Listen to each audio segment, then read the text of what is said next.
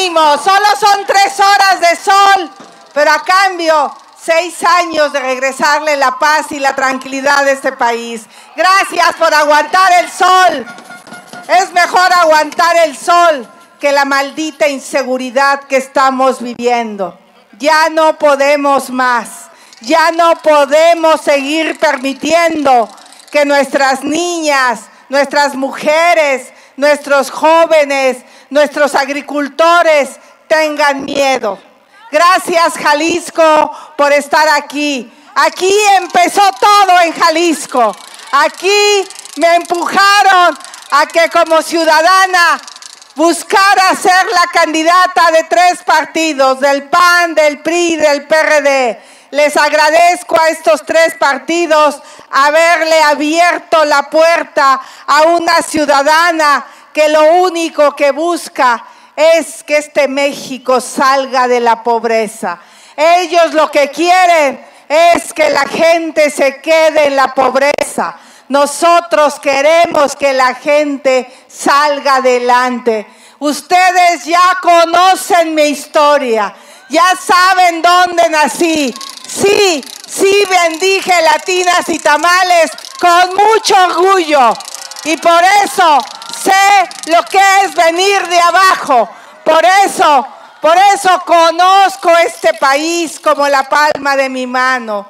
Su servidora ha estado en Mezquitic, en San Sebastián Teponahuastlán, en San Andrés Comiata, en Santa Catarina.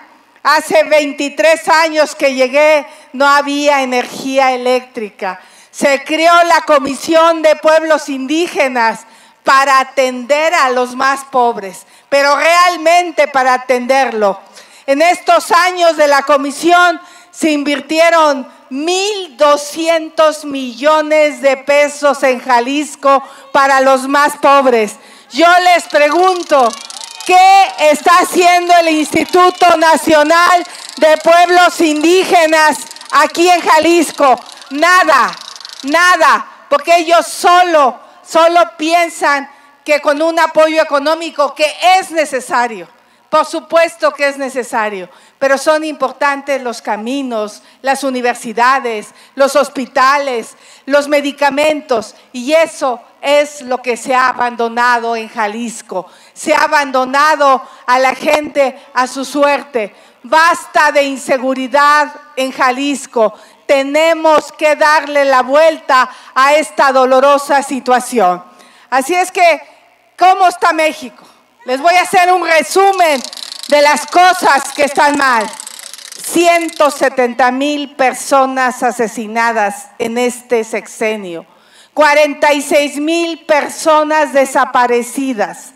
Ellos creen que cambiando las cifras y desapareciendo de un plumazo, las familias van a recuperar la paz y la tranquilidad.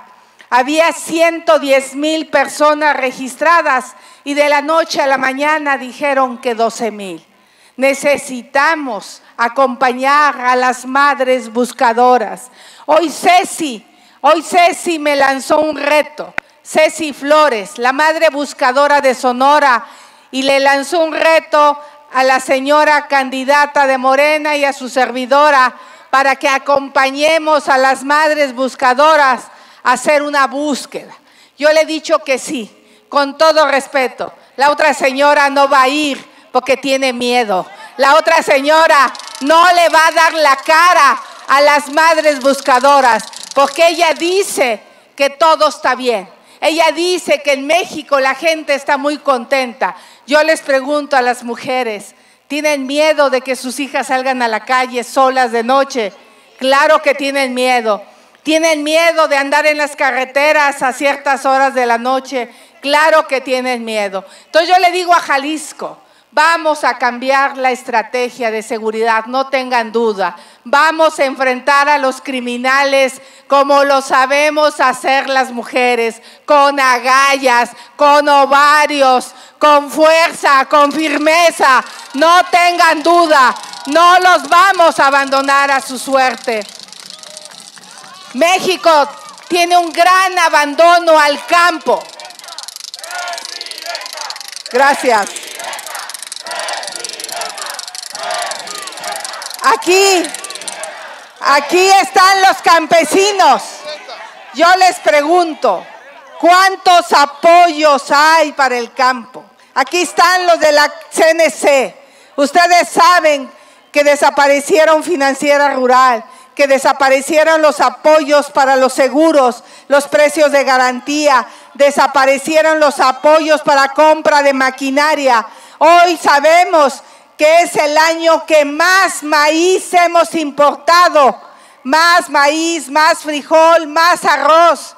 ¿Qué va a pasar? No tenemos certeza de tener alimentos. Ahí es a donde tenemos que trabajar, en el apoyo del campo. ¿Y qué les cuento de la salud? El presidente cree que con una megafarmacia allá en Huehuetoca va a resolver el problema de los medicamentos. No tiene idea, no sabe lo que es, está allá en Mezquitic hasta Santa Catarina. ¿Cuántas horas se hicieron? Imagínense si tienen un enfermo que se está muriendo, de aquí a aquí llega de la megafarmacia. Eso no es saber, no entender. Lo que necesitamos es que los medicamentos estén en las comunidades. Lo que necesitamos es que ustedes si necesitan un medicamento y no se los dan, vayan a la farmacia de la esquina y el gobierno se lo pague porque por su culpa no hay medicinas. Eso es lo que necesitamos. Necesitamos que haya medicinas de manera inmediata. Tengan la certeza que como ingeniera sí sé resolver los problemas. Veo un México donde nos prometieron que a partir de diciembre, miren, la refinería de dos bocas la inauguraron en junio de 2022. En 2022 inauguraron la refinería. Y en junio de 2023 dijeron que para diciembre estaría produciendo 170 mil barriles de petróleo diario. Estamos en enero. El presidente dijo, y se lo digo aquí a su cara, porque se lo van a decir, que cuando estuviera la refinería funcionando, la gasolina iba a bajar de peso. Es más, primero dijo que iba a costar 10 pesos. Eso lo dijo. Pero hoy dice que no, que no se acuerda. Claro que prometió que iba a bajar la gasolina. Pues la mala noticia es que la refinería de dos bocas se ha gastado 240 mil millones de más, de más, de más. Esos 240 mil millones son los que le han quitado a las madres que tienen niños con cáncer. Ese dinero se lo quitaron a las escuelas de tiempo completo. Ese dinero se lo quitaron al seguro popular. Ese dinero se lo quitaron al campo. Ese dinero se lo están robando. Bola de bandidos. Porque nadie, nadie hace una obra a tres veces su valor. Y al día de hoy no tenemos ni gasolina 10 pesos ni refinería de dos bocas funcionando. Por eso se van a ir, porque son unos rateros y son unos ineptos. Por eso, por eso vamos a cambiar de gobierno.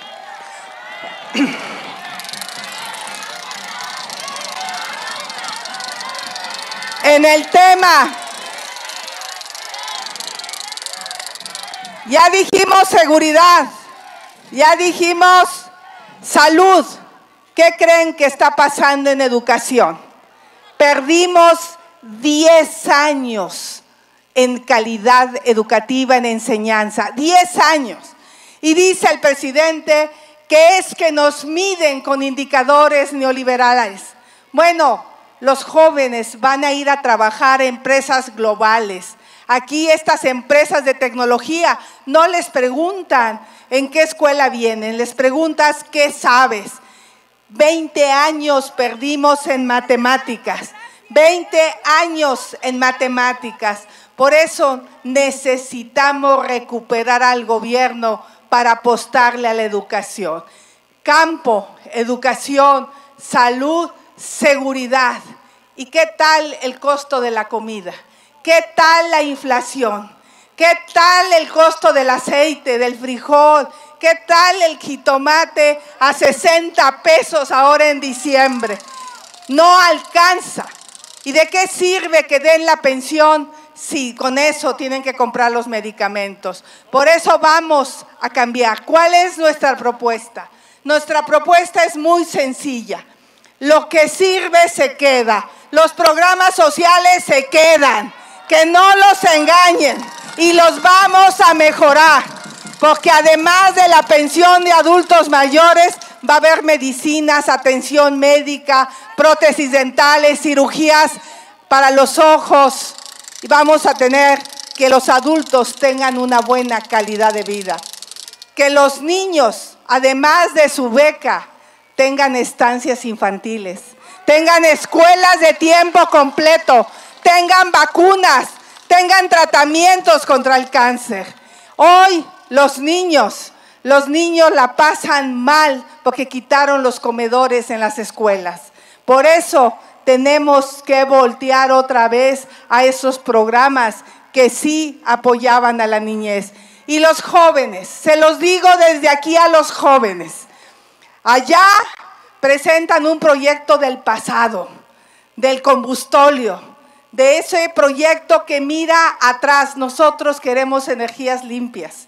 Nosotros queremos un país donde el costo de la energía sea barata porque es solar. Si alguien de aquí tiene celdas solares, sabrá que solo paga 50 pesos al mes. Pero el que no tiene para comprarlas, pues se tiene que chutar 300, 400 pesos de energía al mes. Eso es pensar en el futuro. Nosotros queremos que los jóvenes tengan una visión de futuro. Por supuesto que está bien el programa de jóvenes construyendo el futuro, pero solo les dan 12 meses de apoyo. ¿Y luego qué sigue? Nosotros queremos que aprendan inglés, queremos que aprendan a programar, que tengan habilidades digitales, robótica, inteligencia artificial. Queremos que los jóvenes tengan una competencia laboral para que puedan tener un buen empleo. Nosotros queremos que los jóvenes tengan futuro y no que, que solo reciban un apoyo y no puedan realmente construir ese proyecto de vida. Queremos que los jóvenes hagan deporte, estén en la cultura. Hoy este gobierno abandonó la ciencia, abandonó a los deportistas, abandonó a las mujeres, abandonó a las mujeres. Nosotros queremos seguir con los buenos programas, pero mejorarlos. Lo que está más o menos, lo vamos a mejorar. Aquello que más o menos funciona, por ejemplo, el tema de la economía, no está del todo mal, pero no acaba de estar bien. No crecemos económicamente y este país tiene que crecer para que haya buenos empleos. Y de plano lo que está mal, lo vamos a cambiar. ¿Qué está mal? La seguridad. ¿Qué está mal? La salud. ¿Qué está mal? La educación. Ahí vamos a cambiar. Por eso los necesitamos. Aquí hay dos opciones. Una es claudicar. ¿Quieren claudicar? quieren doblarse, quieren vencerse, quieren obedecer, quieren que siga la mala política de seguridad. Claro que no. Y la otra opción es innovar, es pensar en el futuro, es emprender. ¿Cuántos de aquí, si tuvieran la posibilidad de recibir un apoyo para emprender un negocio, lo harían? ¿Cuánto les gustaría tener su propio negocio? Vamos a apoyar a la gente que trabaja. Vamos a apoyar a los emprendedores. Vamos a apoyar a los que estudian, a los que se esfuerzan para que salgan adelante. Nosotros queremos una clase media fuerte, una clase media que trabaje y que salga adelante y que no regrese a ser pobre. Eh, ustedes son esa clase media que lucha, que se esfuerza por sacar este país adelante. Van a contar con nosotros. No es justo que pagando seguro social no tengan atención médica. No es justo que tengan que pagar gasolina de 26 pesos promedio. No es justo. Y eso sí que lo tenemos que cambiar. Y el futuro son los coches eléctricos. Nosotros le vamos a apostar al futuro. Nosotros le vamos a apostar a la innovación y al desarrollo y a los empleos bien pagados. Y Jalisco tiene una gran oportunidad con la relocalización de empresas que se llama el nearshoring.